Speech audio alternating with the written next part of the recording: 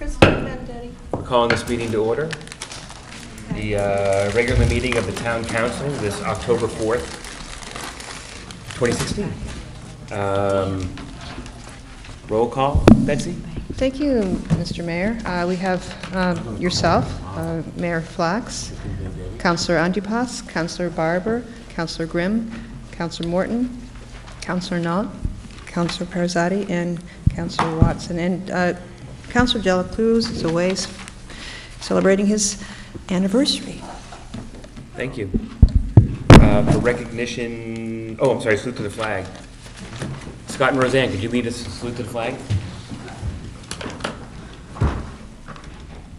Allegiance to the flag of the United States of America and to the republic for which it stands, one nation, under God, indivisible, with liberty and justice for all. Thank you. We do have a uh, recognition award and/or memorial. Councilor Perizzotti? Oh, is that a bad choice?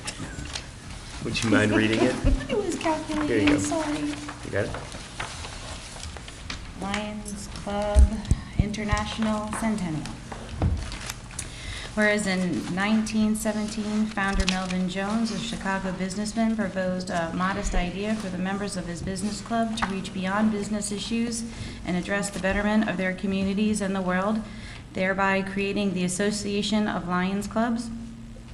And whereas in three short years, their efforts spread internationally, and today, the 1.4 million members of the Lions Club International extend their mission of service every day in local communities to all corners of the globe, including more than 200 countries and geographic locations meeting human, human, sorry, humanitarian needs and encouraging peace and promoting international understanding through 46,000 Lions clubs.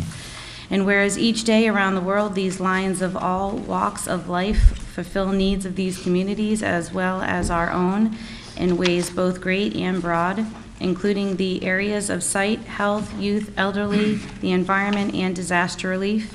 And whereas these dedicated Lions have already surpassed their incredible goal of serving 1 million people worldwide by June 2018, nearly 100,000 people of which were served by Lions Clubs International District 23C, com- comprised of Lions in Middlesex, New London, Tolland, and Windham counties.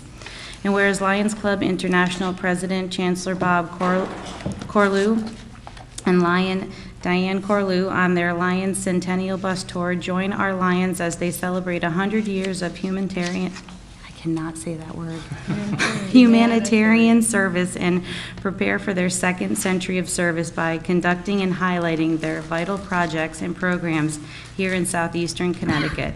Now therefore be it resolved that the Groton Town Council, on behalf of Groton residents, join in celebrating the Lions Club's International Centennial and thank them wholeheartedly for all that they have done and continue to do throughout the world, and especially here in our own community. Dated Groton, Connecticut, this 25th day of September 2016. Thank you, Councilor Perizzotti. And I was fortunate enough to uh, read this proclamation at the, um, at the event, which was um, at Eastern Point Beach um, two Sundays ago, and we got a, a, a little banner to hang that we met Chancellor Bob Corlew, International's president, on this 100th anniversary bus tour.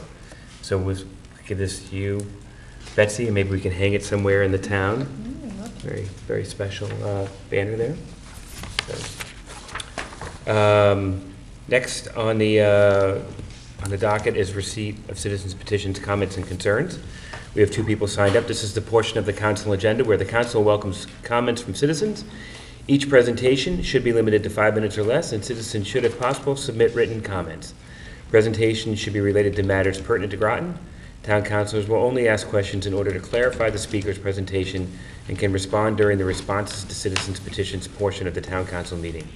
Citizens should make their presentation from the lectern and state their name and addresses for the record. And the first up is Roseanne Katowski.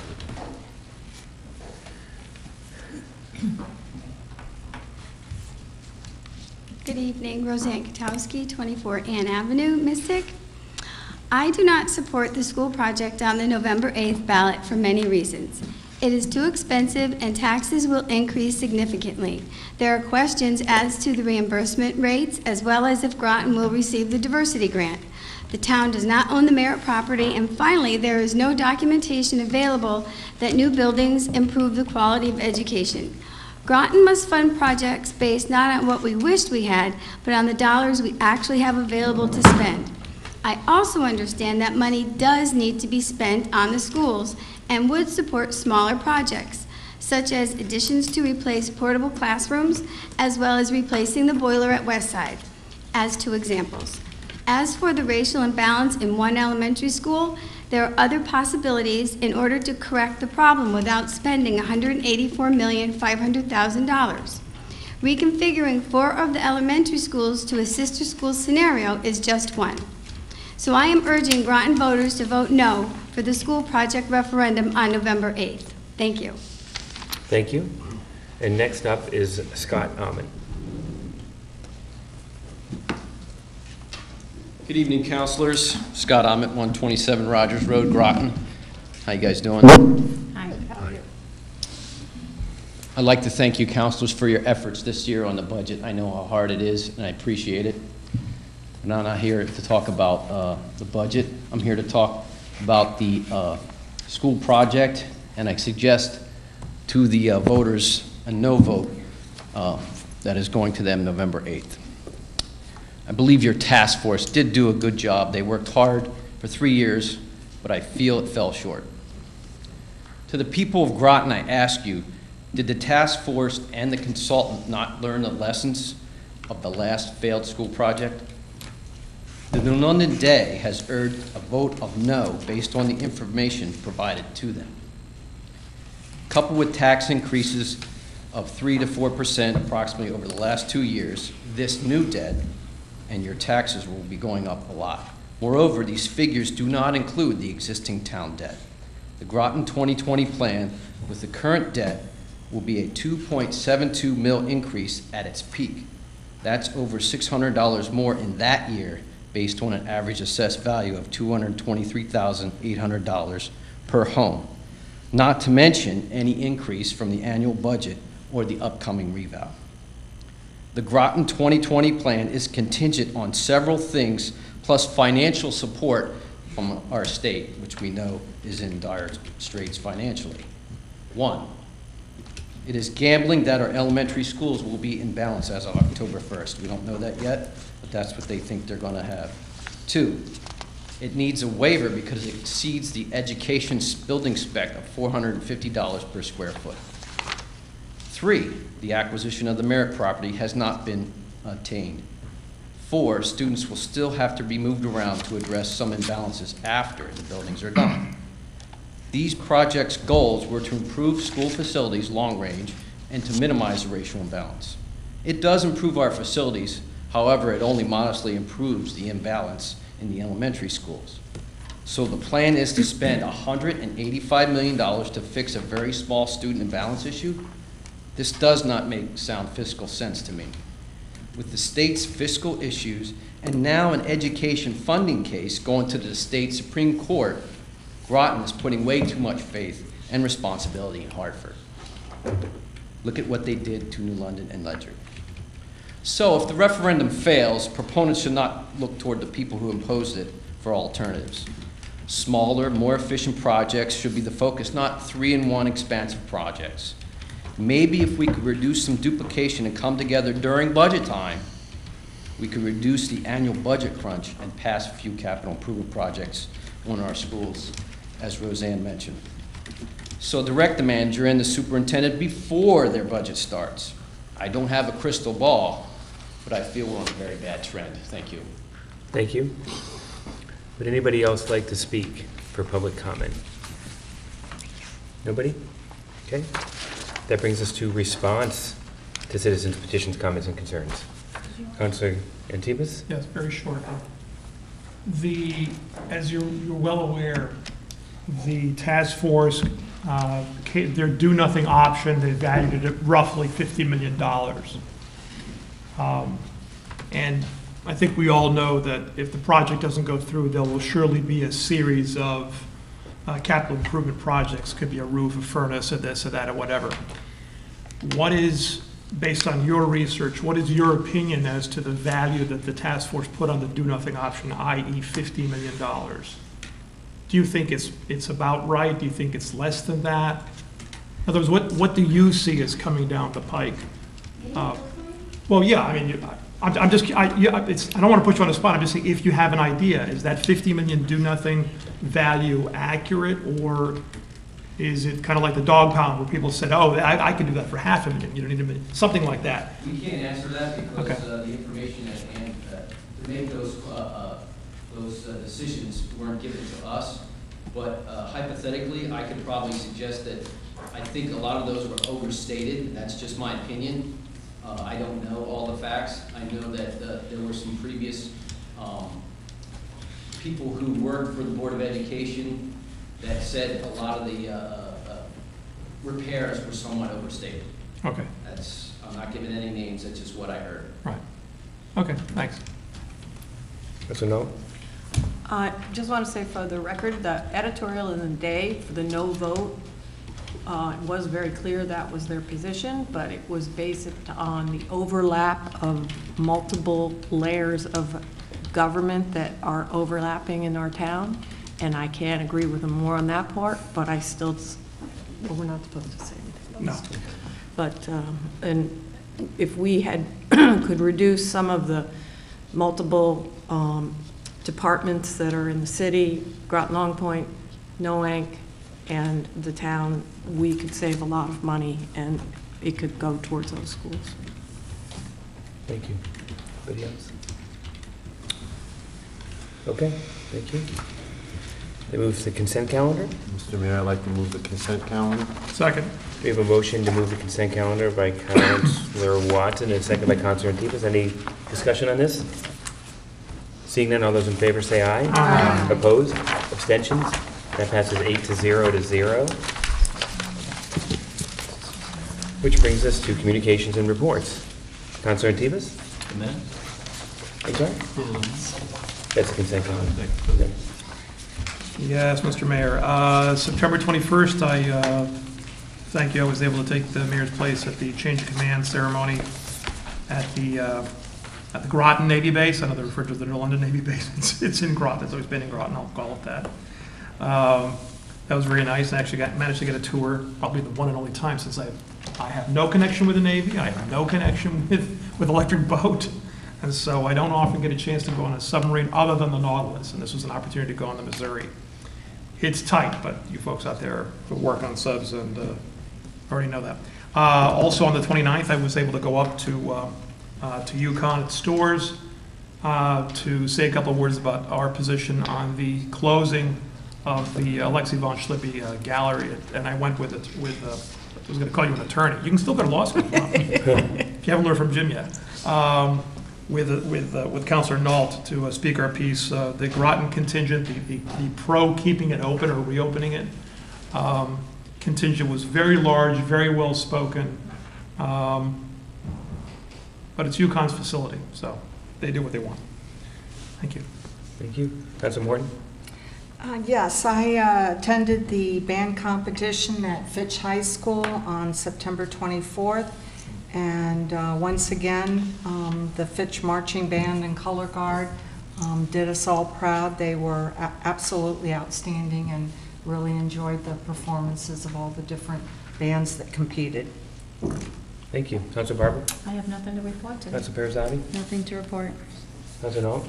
I went to the same uh, board meeting with uh, Counselor Antipas, and um, I invited Marion, Mayor Marion Galbraith to go, and she spoke, um, which was, was nice, and uh, had some very good points about keeping that gallery open, and I think we came away with the thought that we were going to have another letter written. It looks like they're going to close it, but we're going to give it one more shot. Thank you. Counselor Grimm? Nothing to report. Dr. Watson? I have nothing to report. Thank you. Um, I attended the uh, Southeastern Connecticut Council of Governments on the 21st. Um, I met with uh, the RTM moderator, Scott Newsom, on the 23rd, and we're going to try to um, have the RTM and the council get together soon to talk budget and, um, you know, kind of lay out some things and not necessarily agree, because I don't think we're all going to agree, but at least get some things out on how we're going to move forward with the budget. Um, On September 25th, I went to that Lions Club International uh, bus stop. On the 26th, I had a USS Sail Foundation Board meeting. Um, And then I wanted to bring up, Mark, the um, October 29th, I received an invitation, the dedication of the uh, submarine in Illinois. And um, I'm allowed to bring up to six, and I think Mark got an invitation to bring up to six, and we wanted to see if the council wanted to go. Um, All councils are invited through us, so the sooner we get your answer, the sooner we can RSVP back. What's the date? Um, It's October 29th, it's 11 a.m., it's a Saturday. It's a Saturday. Uh, But it sounds pretty cool, you know, like, the I don't know how many dedications to, Dec- commissioning, yeah, the- of the, of the Illinois. Um, So if you guys could, you know, check your calendars and get back to us, we'd love to have uh, the entire council and town manager attending, so um, that's all I had. Uh, Clerk of the RTM? Thank you. The uh, RTM will be meeting next week. Um, They don't have anything on their agenda, but I understand that they will have a referral uh, from this council this evening. Thank you. Clerk of the council? I just want to report that uh, the um, elections uh, for the state election, uh, November 8th, the absentee ballots will be available this coming Friday, which is uh, October 7th. Um, this- My staff and I have- have completed, uh, nearly completed, putting together 350 um, applications that we've received already, um, that we've already mailed out 47 uh, overseas ballots. Those are not the actual ballots that you would be using in November. Those are special ballots that we, that are designed by the Secretary of the State for the purpose of early balloting, that has lists of candidates, uh, but not in the format that you're accustomed to. Um, So the, um, the actual absentee ballots, we don't have them yet. We, we didn't actually get a list of candidates until last week, which was really unusual. There was a lawsuit that was pending and, and uh, resolved. Um, So this, uh, this Friday, if you um, are going to be, uh, find that you're going to be unavailable on Election Day, or if you have an illness that prevents you to go to the polls, you're more than welcome either to uh, come in after Friday and vote right then, and we'll safely keep your ballot safe in our safe, locked every night, uh, and it will be counted on Election Day with all the other ballots. So there's secrecy there, and um, you can count on us. Thank you. Town manager? Yes, just a couple of things, just a reminder, this Saturday is the annual Groton Fall Festival at Poquonnock Plains Park from 11 to 5 PM. Um, Hopefully, uh, a number of you, if not all of you, can swing by at some point. It's always a great event. Um, Is I think, I, I believe John Reiner mentioned this uh, last week when he was here, but it is in your weekly status report. We have been able to submit the airport development zone application. We, we don't expect that we're going to hear back from the state until the end of this calendar year. Uh, But that has been a, a a project that we've been working on for a while. Also, I think I sent this out electronically, the Eastern Connecticut Chamber of Commerce on October 12th um, is having a session concerning um, building business with tax increment financing. Uh, It's a panel discussion.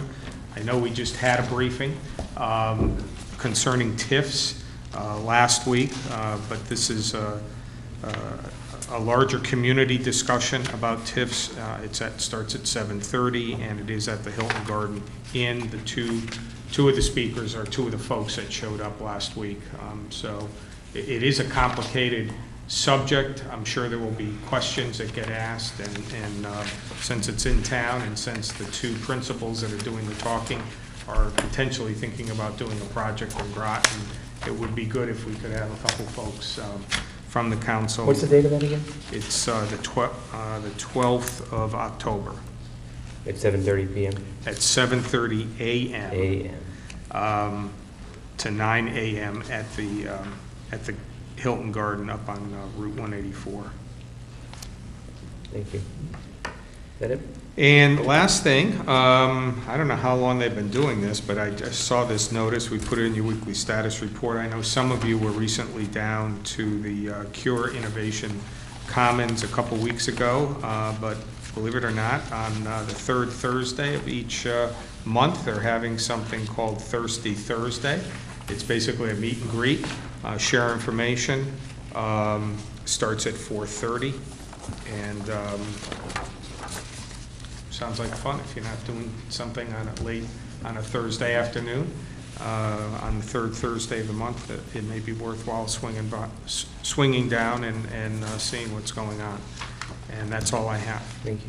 Before we move on, I just want to remind the counselors that since there's no um, other business on this, um, on the agenda, if people have things that they wanted to have brought up for future discussion or, you know, for future agendas, now's the time to, to bring that up. Counselor Noel? I just have a couple calendar things. The Groton Business Association special meeting that I told you about last week, instead of being in the morning at 7:30 to 9, is going to be on the 18th at Outer Lights Brewery at 5 PM. And then the planning department, I think, is the one sponsoring the FOIA workshop, and that's on the 19th at 6 PM. Thank you. I also wanted to mention um, that uh, the city and town are meeting tomorrow with regards to police, with the police chiefs.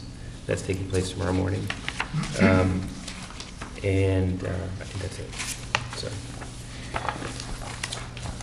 moving on, committee reports. Harry?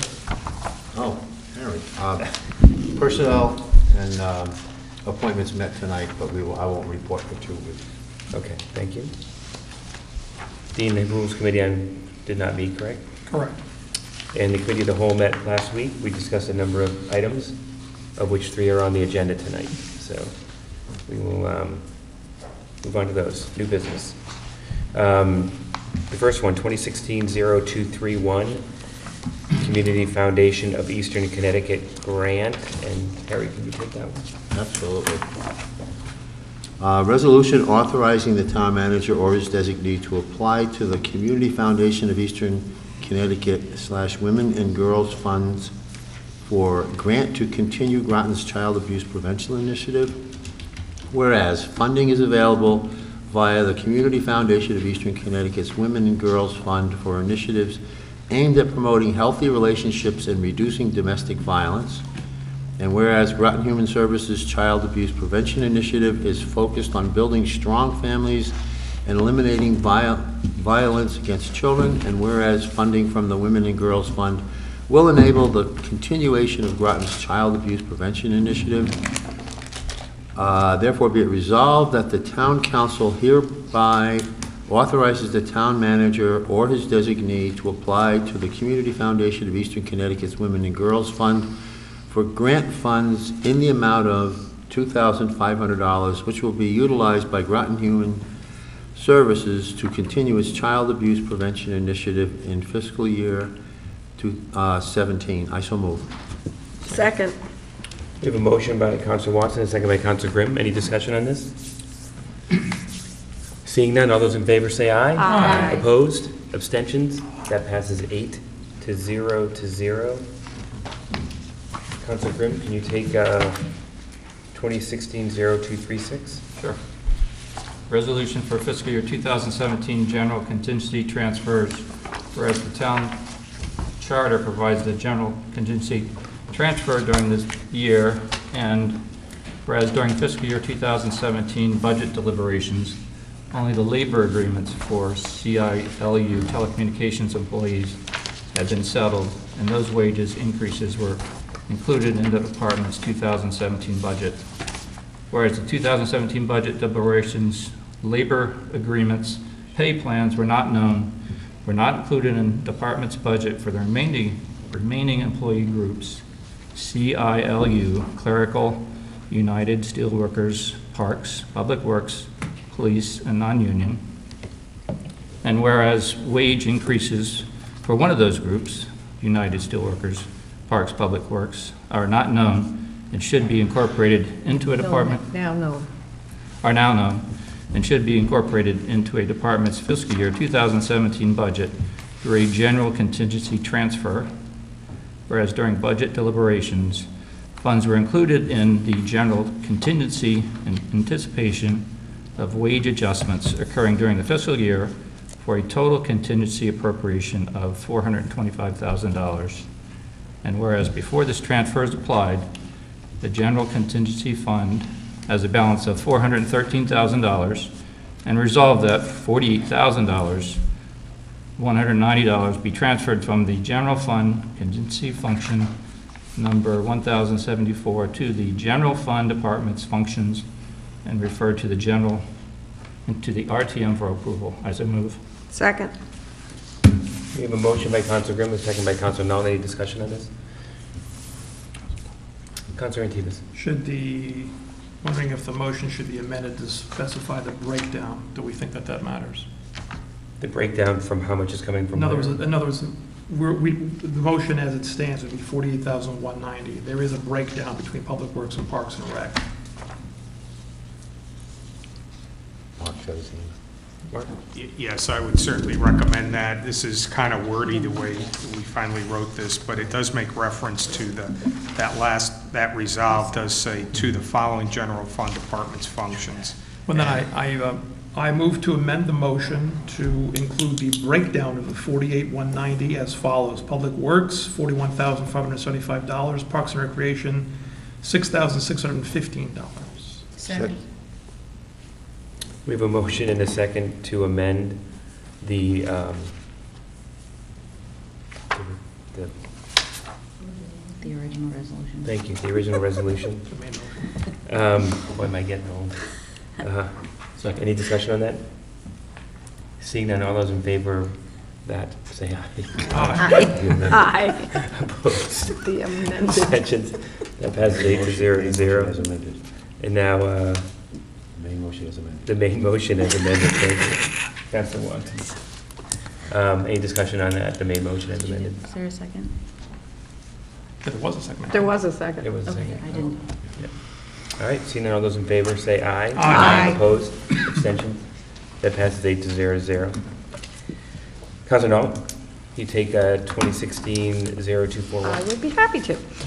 Uh, Resolution authorizing changes to job des- descriptions in the Office of Planning and Development Services, whereas the Town of Groton Office of Planning and Development Services is changing three job descriptions to better meet the needs of the town and the department, and whereas the job description changes as proposed will not create any new full-time positions during the current fiscal fiscal year, and whereas the job descriptions being changed are as follows: Assistant Building slash Zoning Official, Code Enforcement Officer slash Planner One, and Executive Assistant, Office of Planning and Development Services. And whereas these proposed changes will better serve the goals of, and the mission of the Department of Planning and Development Services, now therefore be it resolved that the town council hereby approves the three above jo- referenced job descriptions as attached to the agenda. So moved. Second. Thank you, Counselor Whiting. We have uh, a proposed by Counselor Knoll, second by Counselor Morton. Any discussion on this? I will. Go ahead, Deb. So last week, in our discussion, I had asked in general, um, basically, what was the, wow, are we all having this trouble tonight talking? I did it in my earlier meeting, too. Um, I had asked in general what the cost effect would be. Um, And based on the description that was given to us at the time, it really said that there wasn't going to be much of a, of of a cost increase to the budget. So I asked a little bit more information tonight in regards to basically the current position and basically what the new position was going to be. And I'm asking because there were some things in this job description that I didn't understand when I went back through a second time. So for example, um, when you're talking about the assistant building zoning official, it says union pay grade, GM, GMEA level six. So to me, level six means absolutely nothing. I, I don't know the terminology of that.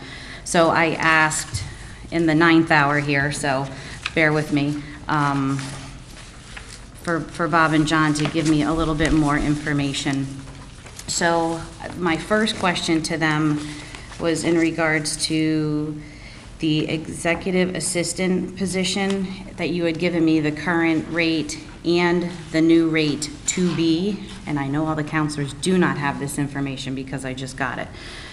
But based on what you're telling me, her, uh, the, the current position is a hourly union position, and you're telling me that it's a current level six, which it looks to me when I do the math out, she has topped out at her level six. So at this stage, she really has nowhere else to go.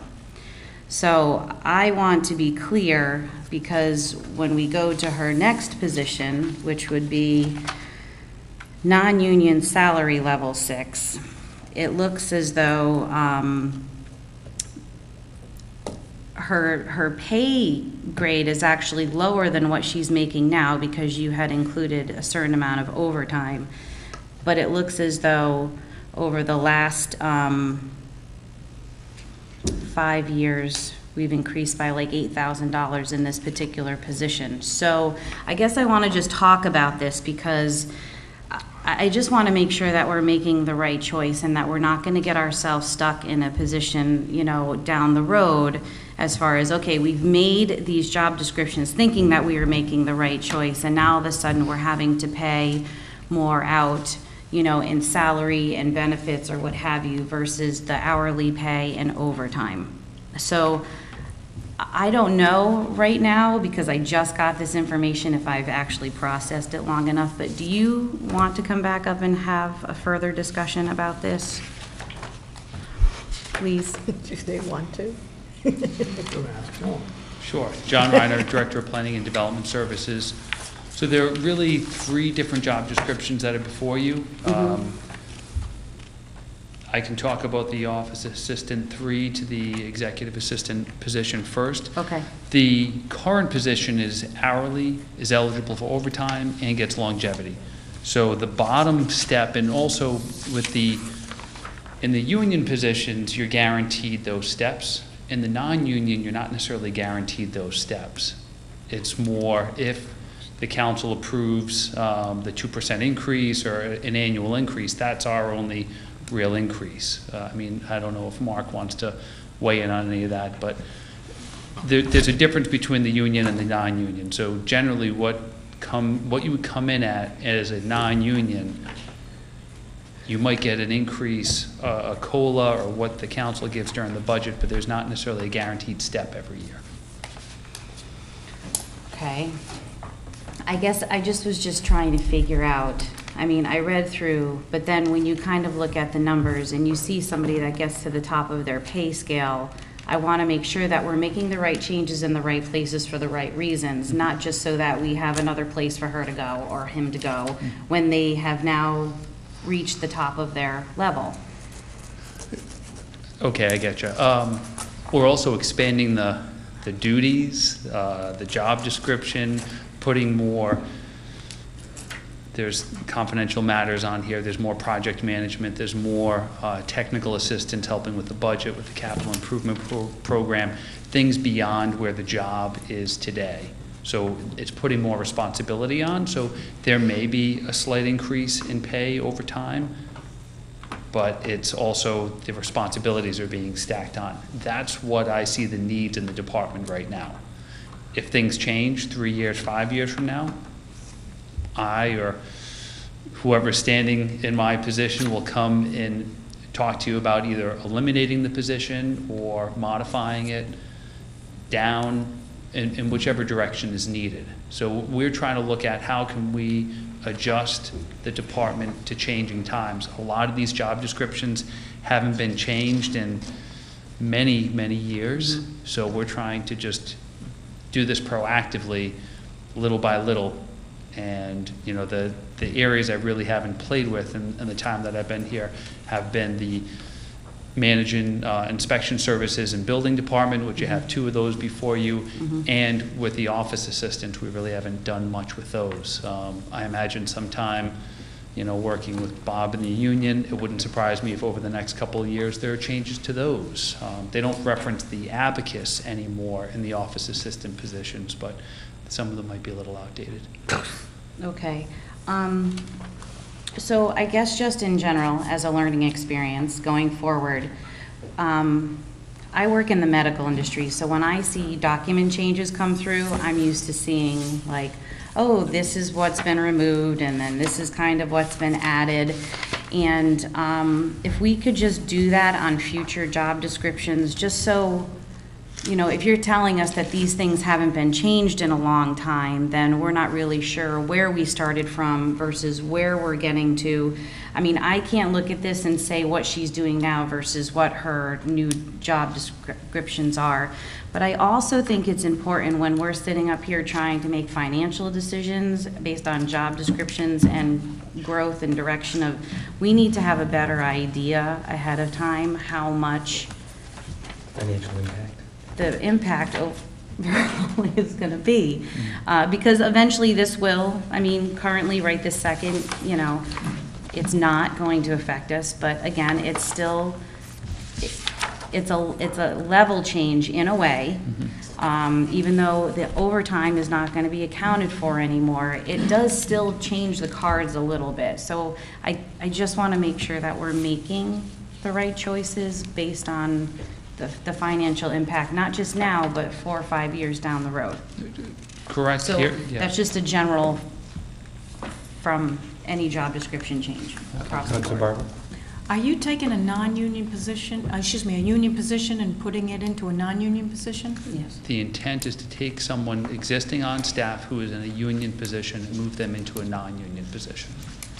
Okay. And is that all three of the, No. No. just the one? Just this the one. one. Um, And then the assistant building zoning official position, that's a position that existed prior to um, how the Office of Planning and Development Services is together now. So it's a position that used to exist. We changed the job description a little bit. That's something that I don't plan on filling today.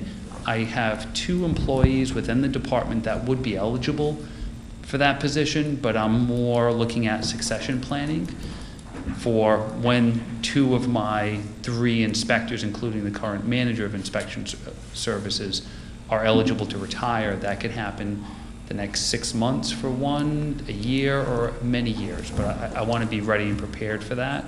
And then the third position, that code enforcement planner one, that one's actually going to be uh, somewhere around a $2,000 or so less um, to the budget. So one may go up a little bit, the other one's going to go down. And with that code en- uh, enforcement planner one position, the salary wasn't the problem as much before, it was more the recruitment. When someone goes to code enforcement, that's kind of a, there's not a lot of growth there. If you add some of those interesting planner duties to it, we have a much larger recruitment and applicant pool to pull people in, so then we can start, again, that succession planning. I have a number of planners that will be retiring sometime in the next three to five years. So I'm starting to think about the next stock of people that are going to be coming in. I- As, uh, as I did last week, I'm going to support this, only because I don't, I don't believe in, um, in getting things ready, that if there, if these are positions that you need, you should be altering the department now and putting those people either, you know, losing people who aren't up to the job and putting people into the positions that, that, you know, that, to make the department run better. Clearly, you're doing this to make, you know, to to make it a well-oiled machine, and to, to say that you're gonna wait, and, you know, you want these on, online for when these people do retire, whether it be one, three, or five years from now, I would say if it's, if it's that important, if these positions are that important, then make moves now and get the department running the way that you want to.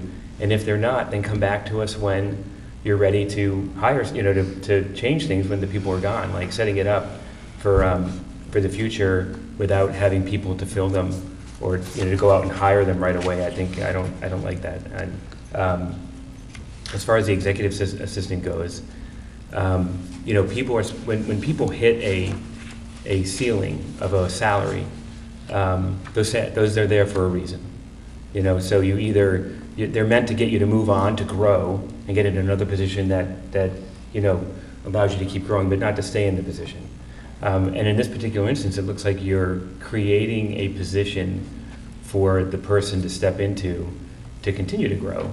Um, Which, that, that, that I can, I, I can kind of understand, but uh, there's something, I don't know, I just, there's something I don't like about it. Um, But, you know, the, the other positions, as far as I'm concerned, uh, I, like, I- if I was anybody in planning and you were saying you might, you three, or whoever many employees there's, might retire one, three, and five years. When you do, we're gonna make your job description better, or whatever you're, you know, improve upon it to better the department. My point is to do it now, and, and better the department now, and do whatever it is that you need to do so that you can make it better. Um, Maybe I wasn't communicating this properly. So the code enforcement planner one position is a vacant position right now. Today, it's a code enforcement position. So I'm changing it so that I can make the department better now. My head planner, uh, Deb Jones, the Assistant Director of Planning, used to be an environmental planner, a planner two. When she was promoted, we looked at what's the best role to bring a new person in, and do we fill the planner two, a higher salaried position, or do we try to fill in with a lower paid position, someone that's entry level, so we can start training people now? So a lot of it is that. So we want to start training people now that are going to be more entry level so that in one, three, or five years, when those people are ready, they can go into those planner two positions or those higher level positions because they're not ready today.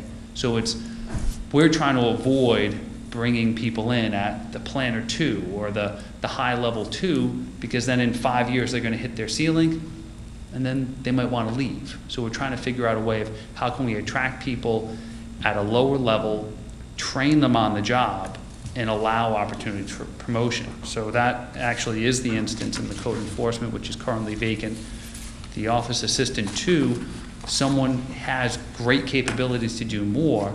So yes, we're creating a position to allow that person to grow so they don't leave the organization or go to a, another slot within the town. So I, I'm trying to keep valuable people there now. And, uh, you know, as I said last week, within my uh, building and inspections department, there's no one that I want to get rid of today. I'm trying to anticipate when someone retires. I have two people eligible to retire. That doesn't mean they're bad employees. It just means at some point in the next few years, they're going to leave. Right now, we don't opt, have options to encourage people to retire sooner. They're both doing great jobs. I hope Kevin Quinn never leaves. thoroughly confused me now. Um, I, I get the e- executive assistant, okay?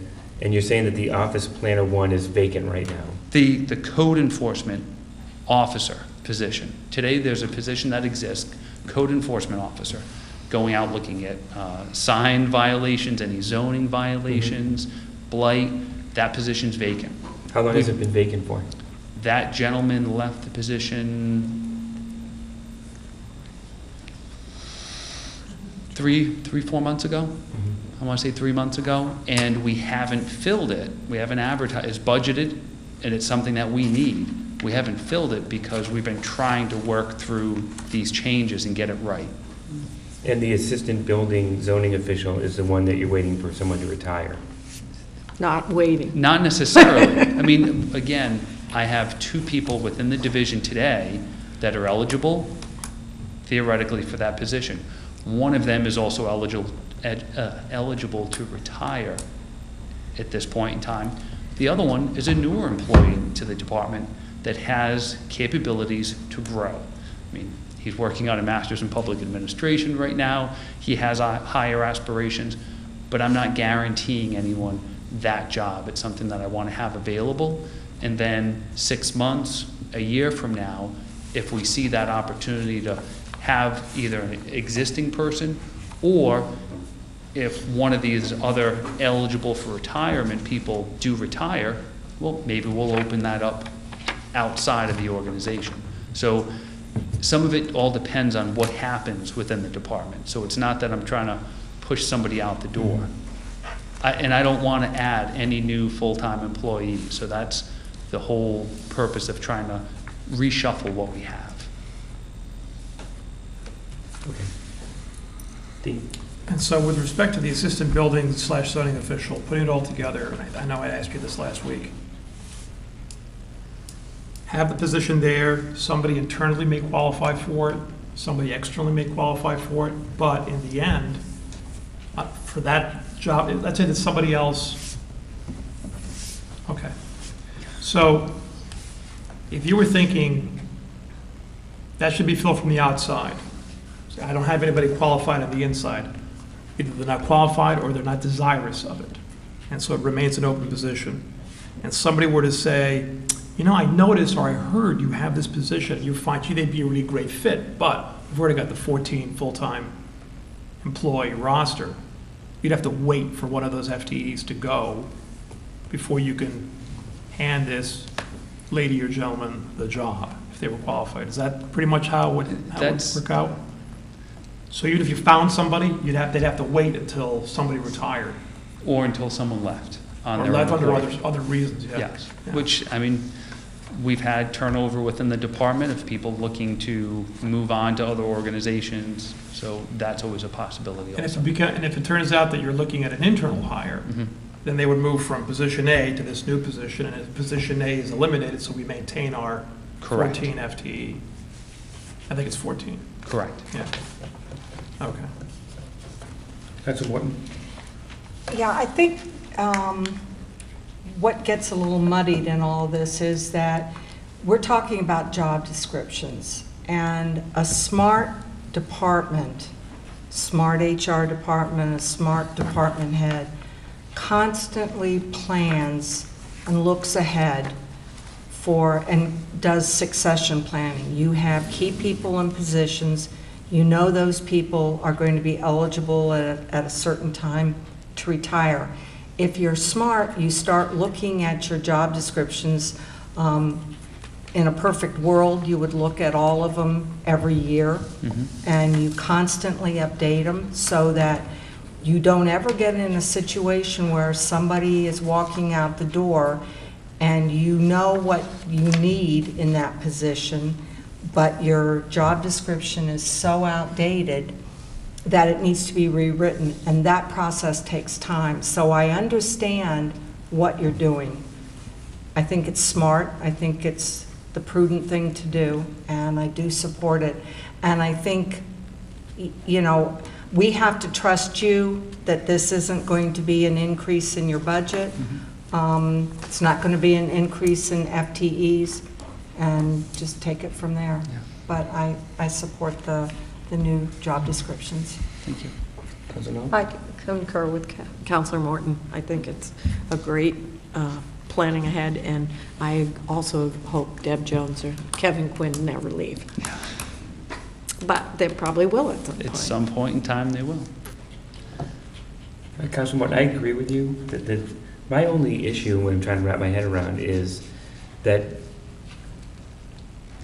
the, uh, the- for the department, for his department to run efficiently, he needs these job descriptions. But he's not gonna fill them until there's a, there's a, there's an opportunity to fill them. So whatever that gap is from when we're creating these job descriptions to when you fill them is to me lost opportunity. Because if they're, if your department runs better, more efficiently with these new job descriptions, then why don't we, why don't you go right into doing whatever you need to do? Whether it be eliminate positions or promote people or, or move it that way, as opposed to having them and waiting there for this gap to fill in, when you're, to me, it's a lost opportunity. So actually, two of these I will be filling in the next two to three months, just through the, through the process. So tomorrow morning, I'm calling Bob and saying, all right, Bob, what do I need to do to get this code enforcement planner one position advertised as soon as possible? That's a vacant position. I need it filled. We're getting lots of zoning complaints, sign complaints, blight complaints. I'm sure some of you are. I need that filled yesterday. Once we get that one moving ahead, the office assistant to executive assistant, I'll get that straightened out. And then the only one that I'm waiting on is that building zoning one. That's the only one that I'm gonna just sit back and wait and see how things go. Two out of three ain't bad. First, I- oh, I'm sorry. Yeah. Okay, One one more thing, the, the, the, my concern with your methodology is this. If the department is, let's say it does what Karen says, which is annually reviews the, the job descriptions and says, you know, we can, we can refine them, we can do better, we can. How long before you establish kind of a precarious environment where people realize, geez, you know, HR is going, annually going through the, or regularly going through the, uh, the job descriptions, that must mean necessarily. You wouldn't want people working in that kind of an environment. Um, I think if, I think if you were proposing a raft of job descriptions saying, the department's good, but it could be really good with these descriptions, I think that might require a serious look at your existing group of employees. But I don't think, I don't see this as so radical a change, so radical a realignment, that you just gotta give some people, you know, a cake and a heave ho. So, Okay. Just to uh, the mayor's point, I think um, the one reason I believe you want the assistant building zoning official position is so you'll have two people then that can issue certificate of occupancies and rule on zoning regs. Yes. But to his point then, if, if that's a good thing, you know, why don't we move forward on that, you know, sooner than later? If the opportunity arises for an internal hire, that's something we can do. Otherwise, aside from laying someone off, I have to wait till someone retires. And it- I have good people in the positions right now. We've made it work in the past, but it's always been a little, um, people have had to wait. So I, I have to operate within the structure of, of state laws, local, you know, HR and, and best practices. So we can't push somebody out the door if they're doing a good job. Well, I'm not advocating that. Yeah. Thank you, Councilor Grimm. Any more discussion on this? Seeing none, all those in favor say aye. Aye. Opposed? Abstentions? That passes eight to zero zero. Thank you.